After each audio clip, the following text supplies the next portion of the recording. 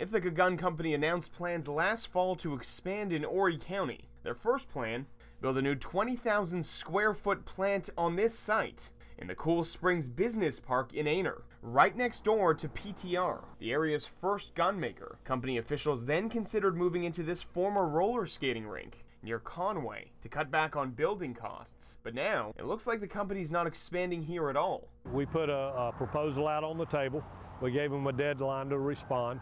We've been, you know, going back and forth with them for over a year now. Now that the July deadline has passed, Horry County Council Chairman Mark Lazarus says it's time to move on. Well, we identified funds and, and uh, assets that we were, you know, setting aside uh, for this one, and we've got to move on. We've got other uh, companies that are looking to come here. But while they wait, Lazarus says if Ithaca comes back for more discussions, they won't turn them away. Well, I think it can still happen. I still think we have opportunities. We can place them at uh, the Cool Springs uh, location right by PTR. That, that could be an opportunity.